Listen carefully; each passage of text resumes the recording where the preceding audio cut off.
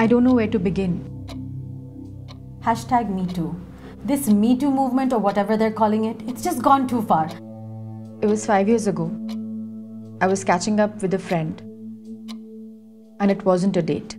These women probably just want attention. I mean, why else would they come out after all these years? He was a famous businessman's son. They always choose these rich, famous men, don't they? Such gold diggers.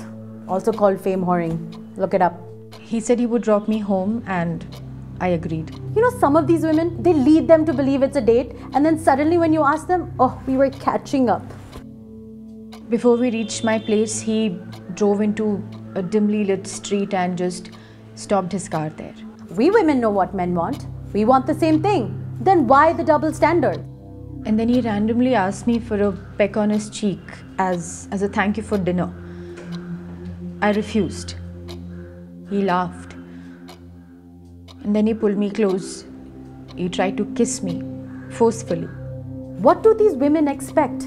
Can't men be straightforward anymore? It wasn't a date for me. What else was I supposed to do? In today's fast age, you want to take things slow? Why wear a thigh high skirt and then expect him not to be turned on? Why let him drive you when you could have easily just taken a cab? Then he felt me all over without my permission.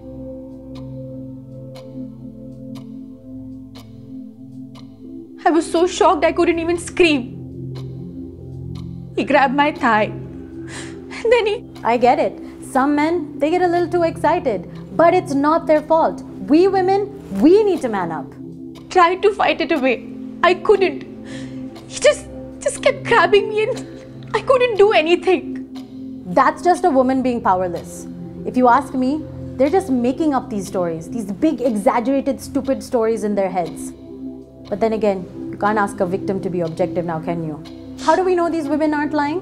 How do we know all these women that have come out now aren't lying? It is very difficult for women to come forward publicly like this. Where's the proof?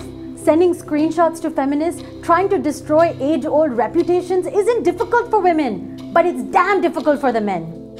Someone just called me an attention seeking slut on social media. Just because I shared my story, which is all facts. Does that not ruin my reputation? Victimhood is an addiction. I'm not a victim. Listen, these things happen. We should behave like adults.